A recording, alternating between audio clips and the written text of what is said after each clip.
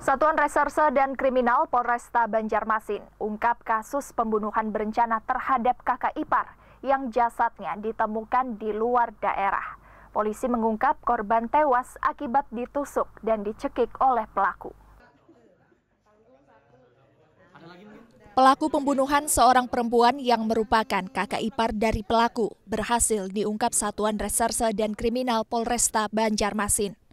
Pelaku ditangkap di Sungai Danau, Kabupaten Tanah Bumbu, dan ditemukan sejumlah barang bukti di lokasi berupa pisau dapur yang digunakan pelaku untuk menusuk korban sebanyak 38 kali dan kain yang digunakan untuk mencekik korban. Saat melakukan aksinya, pelaku berhasil mengelabui kakak kandungnya yang merupakan suami korban untuk menghilangkan jejak dengan membuang jasad korban ke Kabupaten Tanah Laut. Untuk pelaku dan korban sendiri, di mana pelaku merupakan adik ipar dari korban. Nah, setelah melakukan uh, BAP, ambil keterangan dari beberapa pihak, ya motif yang dapat uh, kami sampaikan di press release ini, yakni karena sakit hati. Intinya karena sakit hati.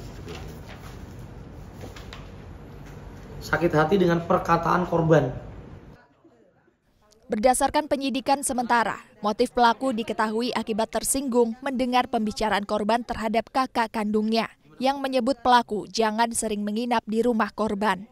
Pelaku disangkakan pasal berlapis, di antaranya pasal 340 KUHP tentang pembunuhan berencana dengan ancaman hukuman pidana mati atau penjara seumur hidup. Dimas Pangestu, Kompas TV, Banjarmasin, Kalimantan Selatan.